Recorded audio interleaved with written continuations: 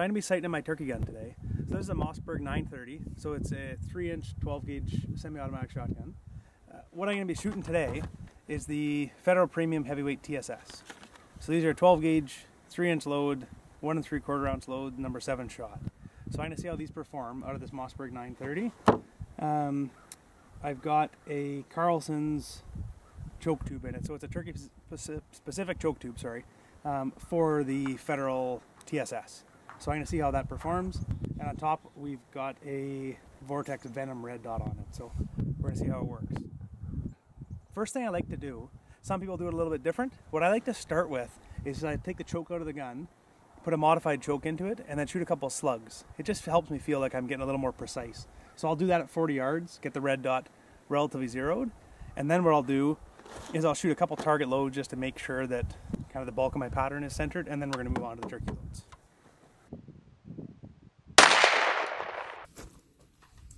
So the next thing I'm to do is just shoot some cheap target loads. I'm going to shoot these at um, maybe 10, 15 yards, and it just gives me an idea where the bulk of that pattern is. So I got the turkey choke back in here.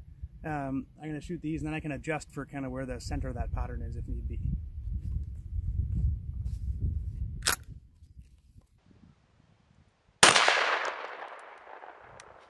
So for this, I like to have a decent sized board, and then I'll put this craft paper over top of it. So I like these turkey patterning targets, but having something you can really see the whole the whole pattern is uh, is really helpful. So I just buy a roll of this craft paper at Home Depot for 20 bucks for 160 feet or something I think it is.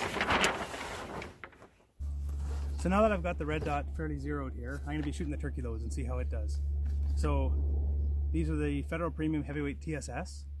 So I'm going to be shooting these right now. I've got the turkey target set out at 50 yards. We've ranged it set up at 50 yards. We're going to see how these perform at that range.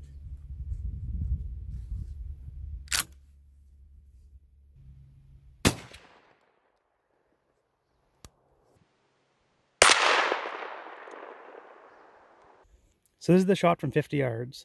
So it's a pretty impressive pattern, but I'd say that the bulk of my pattern's definitely shifted to the right. So my point to aim was right about here. Um, I'd say kind of here is our bulk of our pattern.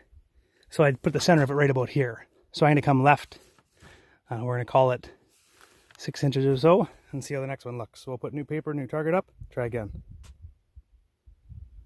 So I've made some adjustments here.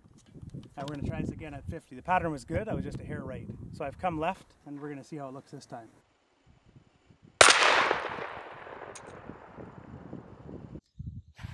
Okay, so there's after some adjustments.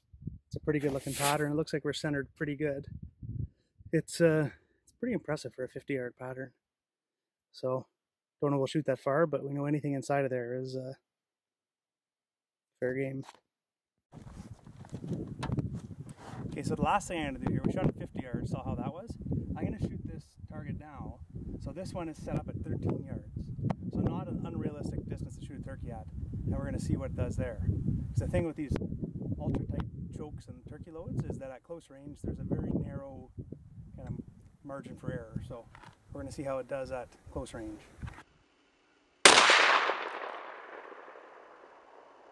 So this is our target at 13 yards.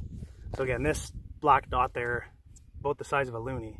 So, I mean, it's a pretty limited pattern. Like, that's about it right there. So, very easy to miss at close range. And 13 yards, again, not unrealistic. You might even find yourself closer. So, close range, you need to be very, very careful that you're really on your target.